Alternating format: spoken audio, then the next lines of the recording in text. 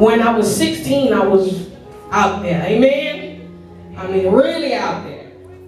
And it was Talitha Cumi that changed my life. It was Talitha Cumi that changed my life because I came in coincidentally on a day that they were having Talitha Cumi. And I was just coming from the streets. I just came from running and selling dope doing dope. And Lord help me, Jesus.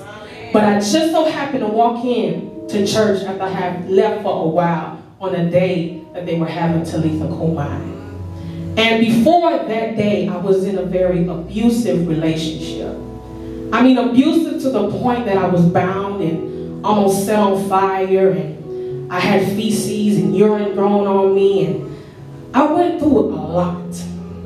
A lot. And all I ever did was love this. But no matter what I did, it was never enough. And it seemed like the more I loved him, the more he hated me. The more I loved him, the more he hurt me. The more I loved him, the more he hit me. The more I loved him, the more he tortured me. I mean, really tortured me. I mean, really tortured me. And see, people have a tendency to see people and look at their demeanor and pass judgment and not understand why they have that demeanor. I came in and I was angry at the world. But nobody knew what I had to go home to. Nobody knew the battles I had to fight on the inside. Nobody knew how unworthy I felt. But because of Talitha Cumi, because of Talitha Cumi, I heard a word that ignited my spirit and let me know that I am worthy.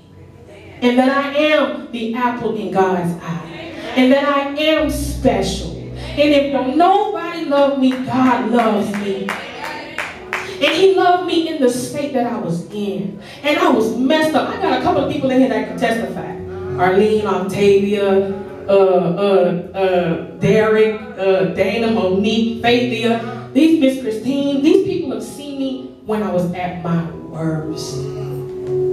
That's why you gotta be very, very, very, very careful how you handle people because you don't know what they're going through.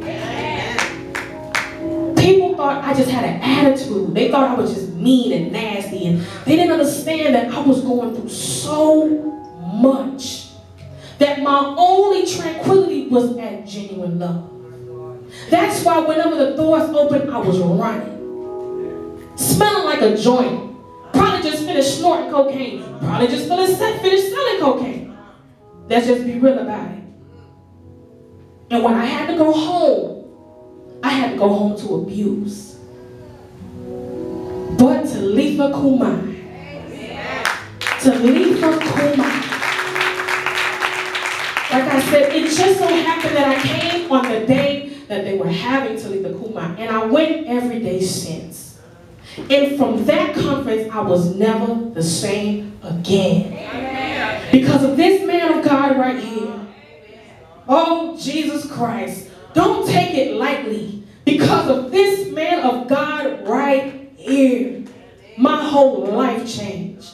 And it wasn't easy. It was a process. It took a lot of time. And it's still taking a lot of time. But I have come from a mighty long way. I looked up the word damsel and it said an unmarried woman.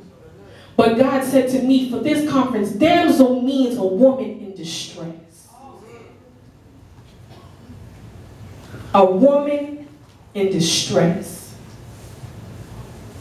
We were back there praying I heard God say, dry bones live? But then I heard God say that was a trick question. I already know the answer. Do you believe these dry bones can live? Do you believe these dry bones can live? I thank God for Talitha Cumi. Because of Talitha Cumi, I was empowered enough to know that these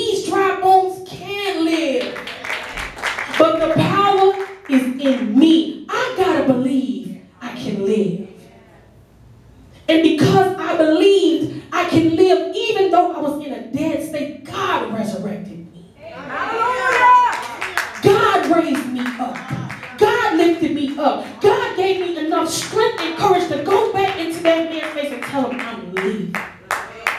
I deserve better than this. I'm more than this. You will not put your hands on me one moment. Glory, hallelujah. Glory, hallelujah. I speak to the damsel in you this morning. Damsel, I say arise.